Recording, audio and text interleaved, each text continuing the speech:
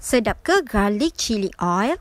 Letak mushroom seasoning dan juga gula zero calorie erythritol. Mula-mula panaskan minyak dan kita akan goreng empat sekawan untuk dapatkan bau. Bila dia dah kembang tu dah boleh angkat dan kita akan gunakan minyak ni je. Okey, masa ni tim buat salah tau sebab minyak tengah panas and then masukkan bawang putih. Ha, kan dah terus berbuih melempah-lempah. Lepas tu, bila minyak ni panas, problem dia bawang putih akan cepat hangit. Ha, tengok ni dah hangit dah.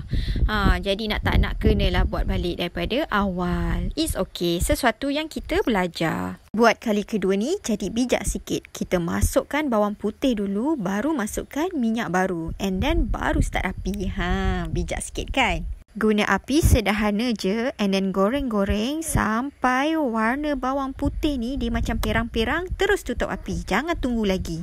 And kita sediakan chili flakes. Masukkan chili flakes ni dalam mangkuk dan sprinkle dengan mushroom seasoning supaya chili oil kita ada perasa. Masukkan garam sikit. Masukkan minyak panas dan garlic tadi dalam satu sendok dulu supaya chili flakes tu tak hangus. And kita kacau-kacau bila dah sebati bolehlah masukkan baki minyak panas dan garlic tadi.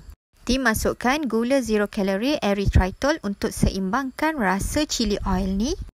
Akhir sekali boleh simpan garlic chili oil ni dalam balang bersih. Garlic yang rangup dan juga gabungan chili flakes yang tak berapa pedas.